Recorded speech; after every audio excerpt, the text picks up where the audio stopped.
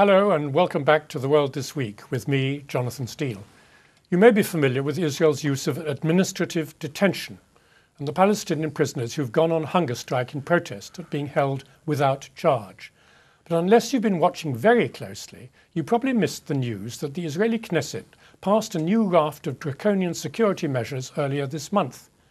The Anti Terror Act has been described as one of the most dangerous and important pieces of legislation in Israel in recent times but has failed to make even a ripple in the mainstream world media.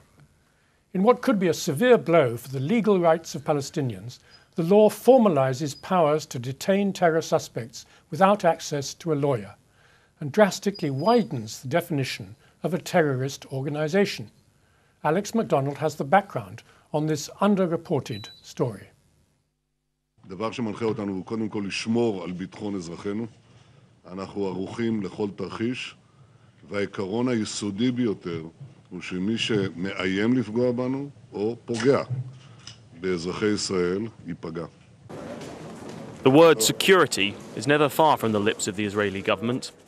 Earlier this month, a new anti terrorism bill was pushed, somewhat discreetly, through the Israeli Knesset, which will give new powers to authorities to arrest and detain suspected terrorists, a move which has disturbed more liberal parts of Israeli society who have labelled the bill draconian and claim it threatens Israel's much vaunted status as the premier liberal democracy in the region.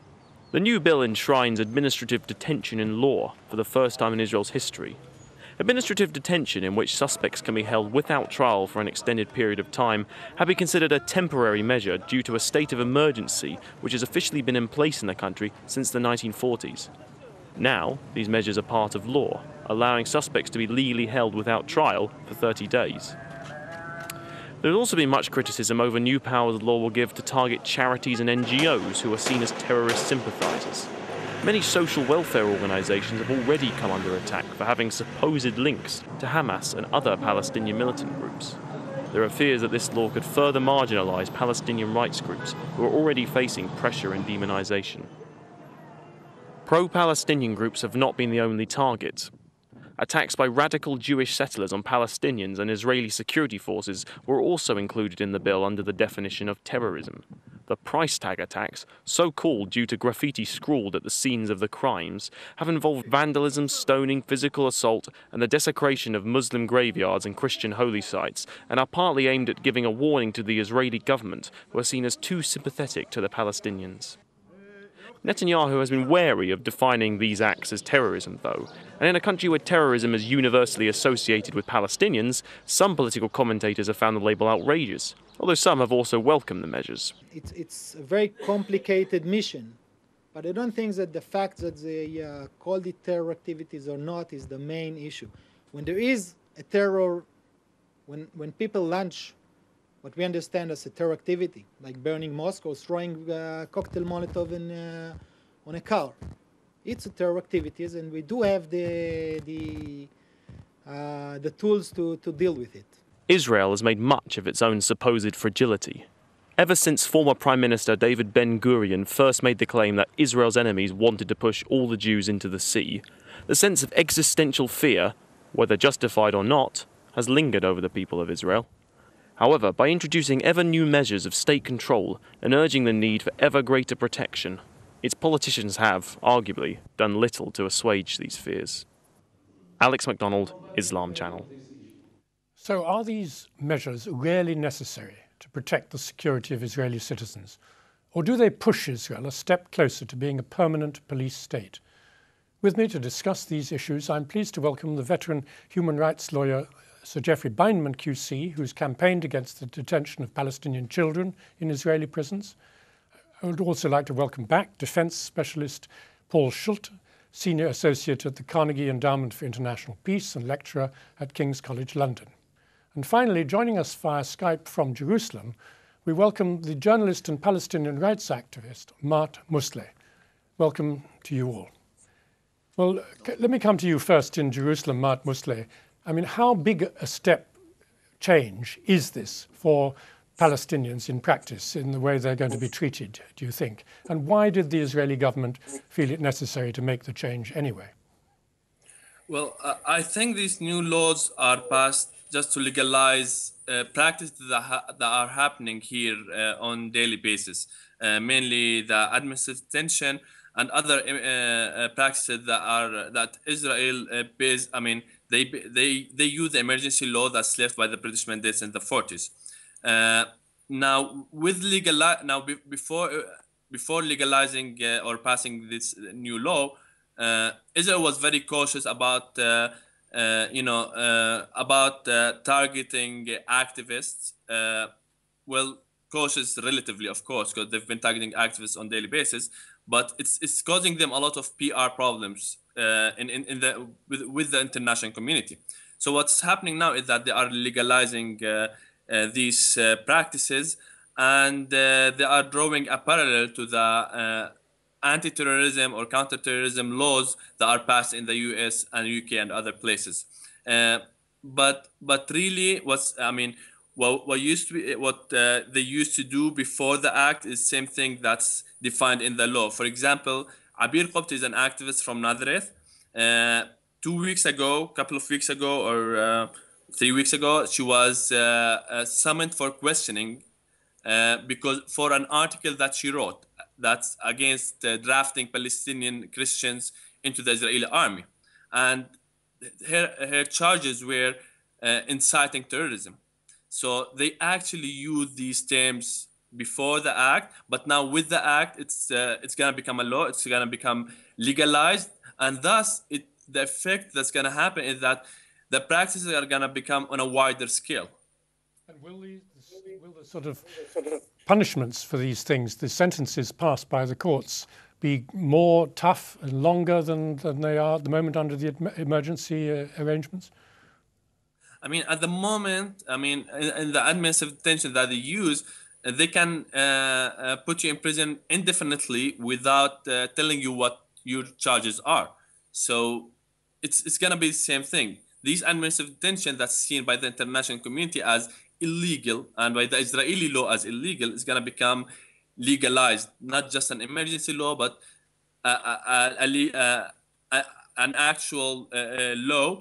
And uh, they've elaborated more on the emergency laws that in defining what terrorism is. So now uh, be, uh, you, you can be tried as a terrorist, not just for being part of what they consider a terrorist group, but also for showing uh, sympathy with them uh, for uh, deliberately or for uh, not stopping a terrorist act. And, you know, not stopping a terrorist act is, you know, it's open for explanation and for showing sympathy, for, for, for giving an opinion that they would think is sympathizing with, with what Israel would define as a terrorist act or inciting terrorism. So the definition of terrorism have become wider and uh, they practically can uh, arrest you for any reason and try and and, and you know right. charge I, you. I, think we'll just turn, if you don't mind. Sorry to interrupt you. Uh, turn to one of our guests here in London, uh, particularly uh, Geoffrey Bindman, since uh, you follow these things extremely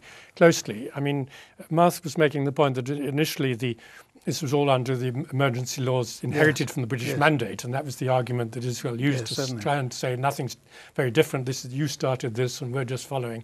Now they're going to say we're putting it into law, but it's just like the laws in Western countries. Well, let's deal with the UK anti-terrorism laws. Do you see this as just simply codification of the same things we have here, or is it much worse? In, in some respects, yes, uh, because uh, we too have a law which allows the detention of terrorist suspects for up to 28 days. I think it's 30 days now in, in Israel.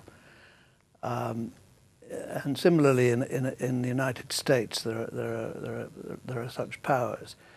The, uh, the important point, I think, is not that the words of the law necessarily are different from the uh, uh, those in, in, the US and, and, the UK, but the selective enforcement of law.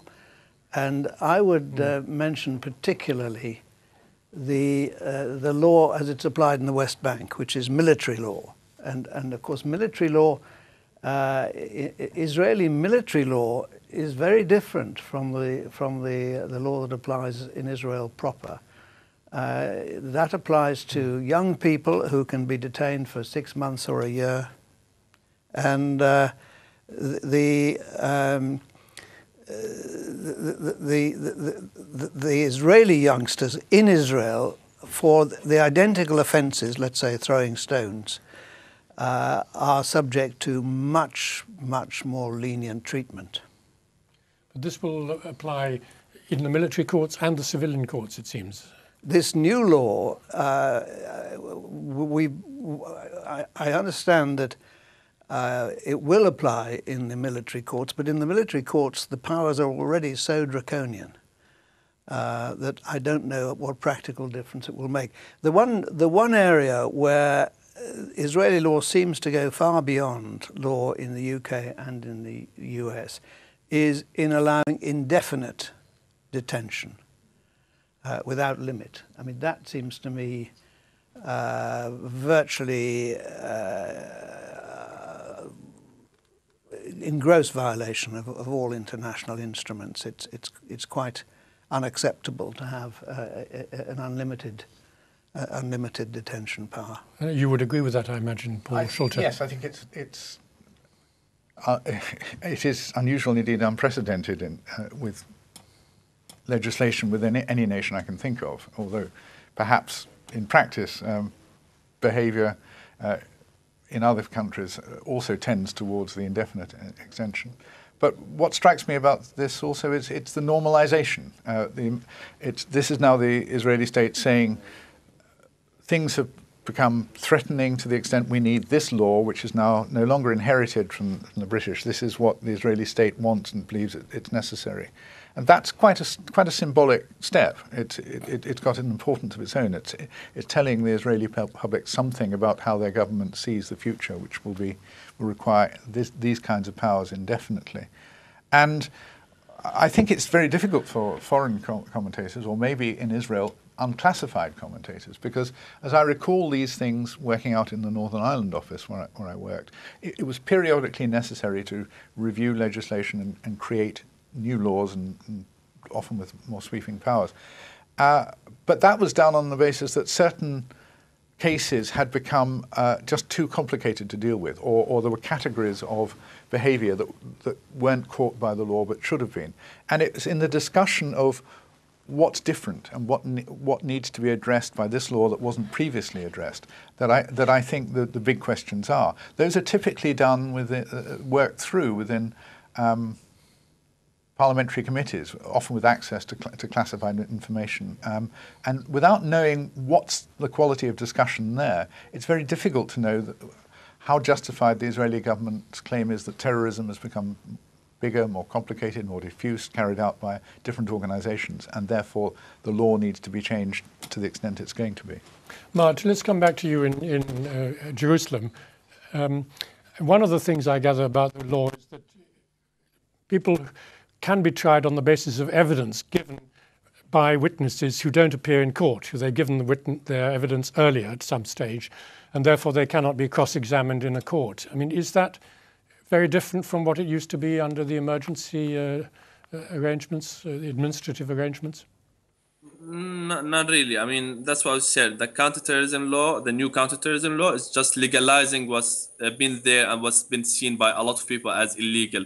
And uh, for example, uh, I mean, in, in for example, in administrative detention, they detain you. Uh, I mean, using secret evidence, so you don't know what what your charges are really are, uh, and that's still seen as illegal. And uh, you know, you right, you have a right to know what your charges are, and uh, you have the right to defend yourself. But under these laws, under these new laws, it's just legalizing this the whole process that's seen illegal by a lot of people or by the international community.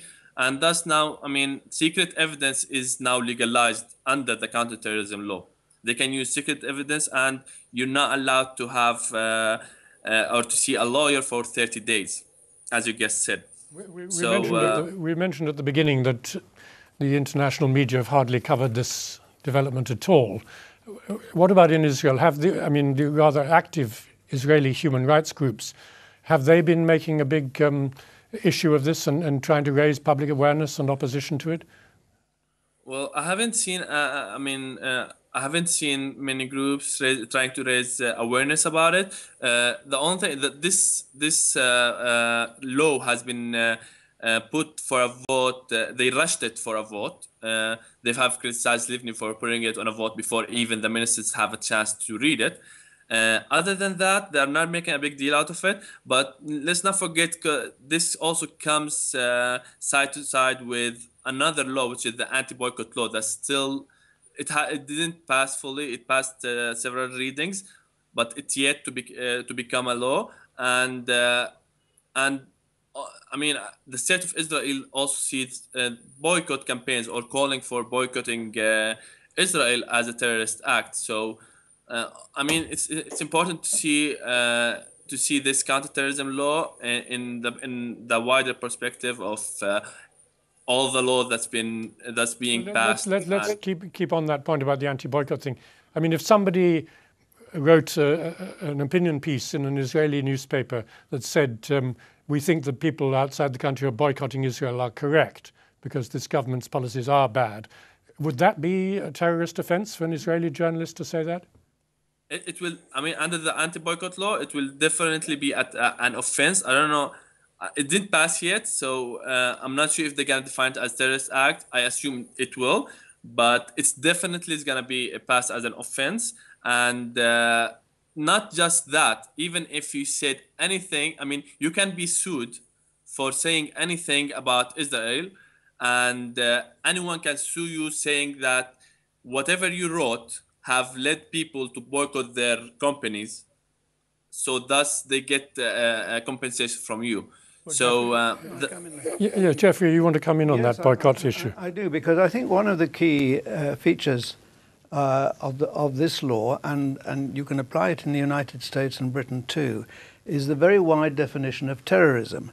Uh, in the United States, material support for terrorism uh, is a very serious offence. It's been used uh, in the case which, which is the, concerns the Holy Land Foundation, which was providing uh, welfare support to organisations in Palestine uh, its senior uh, officers were sentenced to jail sentences of uh, up to 65 years for material support this for terrorism in the United States. States. Yes. Now, uh, in Israel, the assumption, I think, the, by the public at large, I suspect, so the, the, the, Israeli public, the, the non Palestinian or Jewish uh, section of the population is that these laws are not for them. These laws are for Palestinians. They are selectively used, intended, and applied. And uh, that, uh, that uh, uh is unfortunately becoming the case in, uh, in, in this country and in the US as well, because the people who are being targeted uh, Muslims in Britain, Muslims also in the United States. If a law is passed which the public at large don't consider is going to affect them, they're not going to complain about it. That would probably explain the lack of public protest about this law. The public protest would no, not come from the Israeli population. Slightly shifting the issue surely the revelations that The Guardian had two weeks ago about this National Security Agency thing rather runs against that because they suddenly made ordinary people aware that this anti-terror thing doesn't just affect people who are likely to be possibly be involved in terrorism, i.e., Muslims particularly, but you know the whole population is having its stuff uh, uh, potentially being watched and listened ah. to and read yes. by. Uh, outside agencies. Yes. yes. I mean, if you make people aware that, that it can affect them, then of course they will object. Although it's never been suggested that the vast swathes of people that the PRISM operation may be surveilling are in much danger of being prosecuted. The, the concern has been about privacy rather than no, vulnerability but this, this point to, that somehow sort of courts. I think it's the point that William Hague made. Sort of, if you're not doing anything illegal, you don't need to be worried about it. So if you're not planning a terrorist operation, you don't need to be worried about all this. You're, you're no, that's not that's not the point I'm making. I think the point I'm making is that if it is widely seen that those who are targeted by the law do not include you, you're less likely to yes. object to it. But you don't think this law? I think in, in Israel, the law which is we're now talking about uh, the law which uh, penalizes uh, supporting terrorism in whatever way is targeted essentially at at uh, Palestinians. It's not well, targeted. Martin, coming back to you, I mean, um, in our introduction, we pointed out that this law could actually affect Israeli or Jewish settlers in the, who are operating in the West Bank and are using violence of one kind or another. Is is that? Um, you think it's it will actually be used in that way? Uh, actually, the experience have shown that uh, even uh, those settlers that the state of Israel have defined as terrorists in the past have have got, have uh, gotten a more lenient uh, uh, sentences and are out and are still out. And for example, this the the new the new organization that's called the paper. I'm sorry, tag price, I think.